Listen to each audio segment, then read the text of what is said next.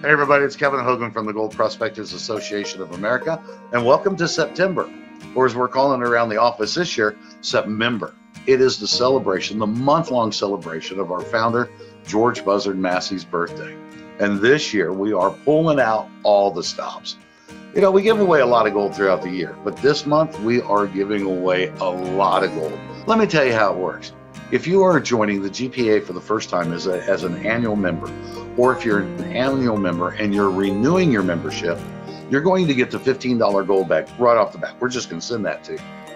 But you're also going to be eligible for a gold nugget that at today's spot's worth about $250. It's a pretty good incentive to renew or join. If you are joining as a GPAA paid in full lifetime member, or if you're upgrading every any level of your GPA membership to a paid in full lifetime, not only are you going to get the now famous $500 gold can, which is already loaded full of gold, you are also going to be eligible for the gold nugget one a day for the rest of the month that at spot price today was just a little bit under $500. Incredible opportunities pick up the phone and call the GPA office and talk to any member of the member services team. We'll get you set up with your new membership, your renewal, or your upgrade. It's a great way to get some gold before you go out on your next outing.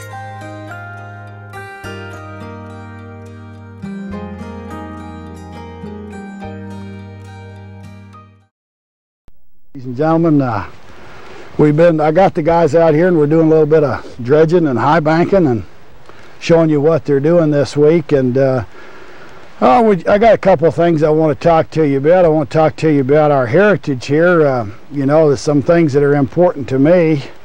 Uh, you know, ladies and gentlemen, uh, the old timers, they come into this country in the 1850s and there was 1,500 or so in this spot that we're at here and they came down, they worked the creek and the river and they took out $100 million in gold from their sweat and their efforts across in the country and around the isthmus and through the Panama Canal there and, and, and walking into this country after they come up the Sacramento River from San Francisco and they worked hard to get the gold. It didn't they didn't get it easy. You don't get it easy today either.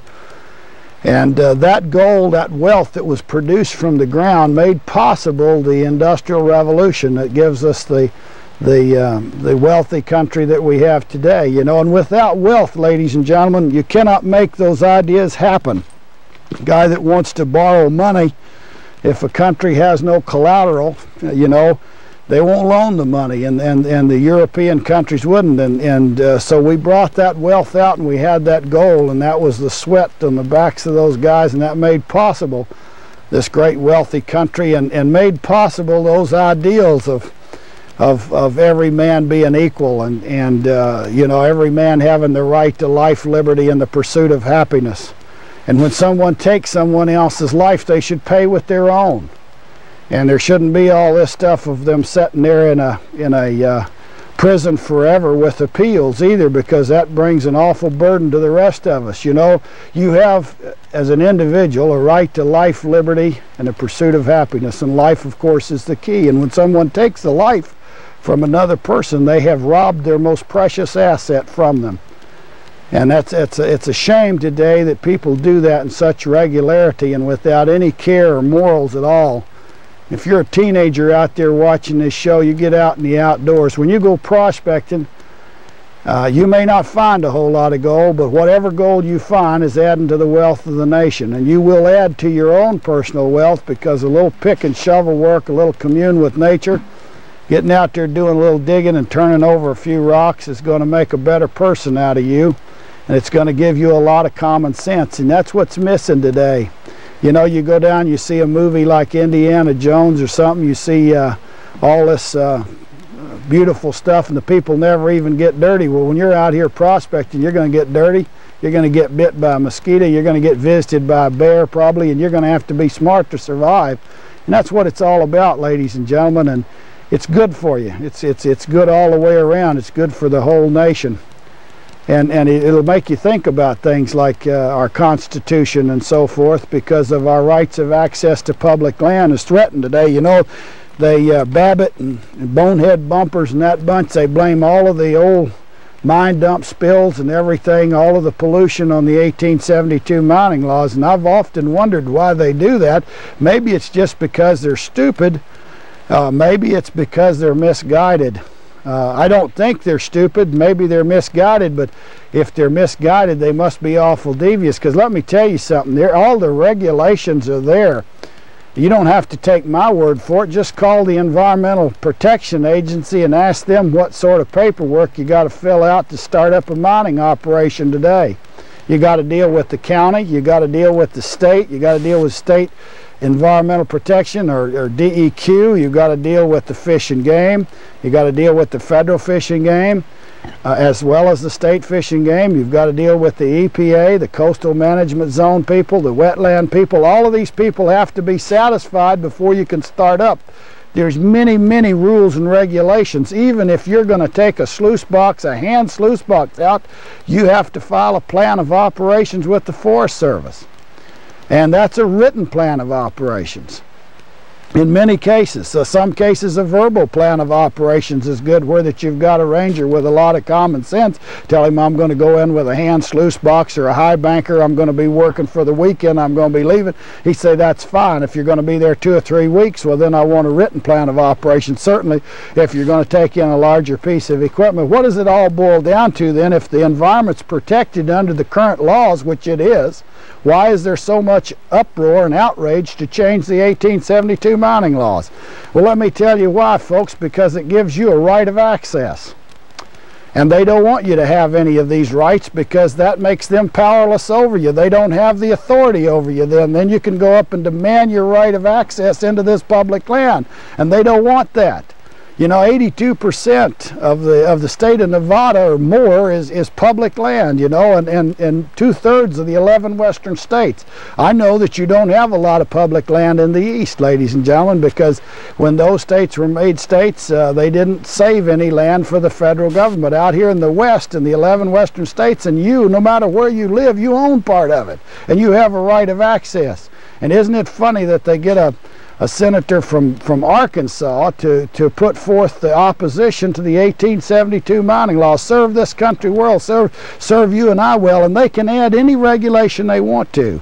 And, and I tell you, they have them all in place. And so when they point to the to the spill over there in Colorado, the cyanide spill. This mining company went in there and they dumped cyanide and stuff like that. They either paid off some politician, some bureaucrat didn't do his job, or, or that maybe some uh, guy just went in and did it and then they found out about it later. But no amount of regulations are going to keep people from breaking the law.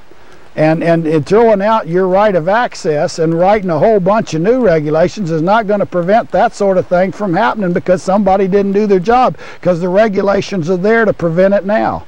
And we say, well, we have all these old mine dumps to clean up. Yes, ladies and gentlemen, we do have some mine dumps to clean up, but we have a legacy from that too.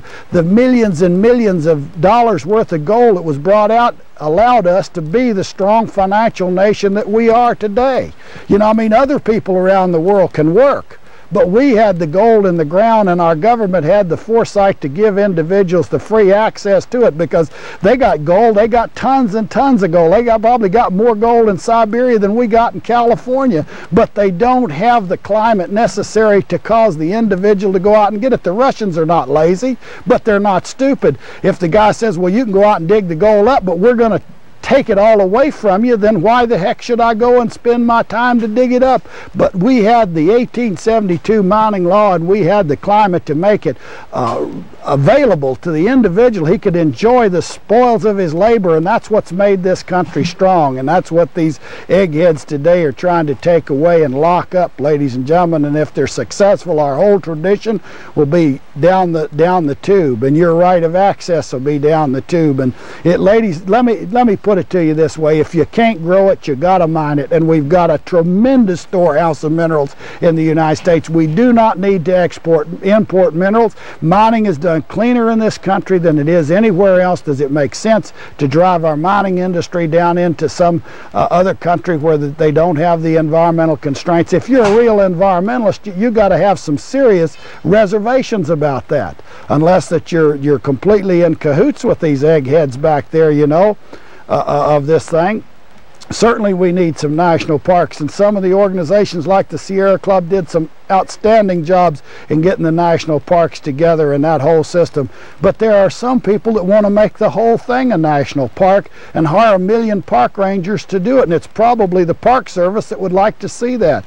These guys that bureaucracy feeds on itself you know? We can only support so many of them as taxpayers and you and I know that. And the thing for you to do is to join the Gold Prospectors Association get out and do some prospecting for yourself for it's good for you you know? If you want to talk about something that's really good for you. You know you get some exercise. If the the guy talked about turning over a rock and a $200 fine how many rocks did the Mississippi River turn over in its flood? How many millions and billions of rocks was turned over by the floods in the Sierra this spring? A guy turns over a rock like that you don't know where that rock's been turned over or not and it doesn't hurt a thing. And for these eggheads to get a hold of everything and to have their authority over you to be able to tell you, no, you can't do it. Well, under the 1872 mining law out here in the West in California, you got a right of access to a lot of this National Forest Service. Sure, you've got to put up with the regulations, but at least you have a right, and, and that precious few rights that we have, we better hang on to because it don't say much for us as a people if we don't. Uh, let me tell you that when you join the GPA, you get a whole box of stuff. You can help us to pr preserve this tradition and get out there and do a little prospecting because, it, it, you know, you're not killing anything. You're not even killing a fish. You're not hunting. I mean, there's nothing wrong with that, but but when you think about it, prospecting is one of the most docile things you can do, and and you get some exercise. It's good for your body, and by golly, I'll tell you what, if you get lucky, you might get a little gold in your poke, and that's what it's all about. Ladies and gentlemen, you've been really kind to tune in to the Outdoor Channel and listen to Old Buzzard today, and come out here. We're out in the middle of nowhere. We don't have a big fancy camera crew or anything. Uh, but uh, we're doing it and you're watching and that's what makes it all possible so you keep on tuning in and and better still get up and give us a call on that 800 number and become a member we need your membership we need you as a member we need your support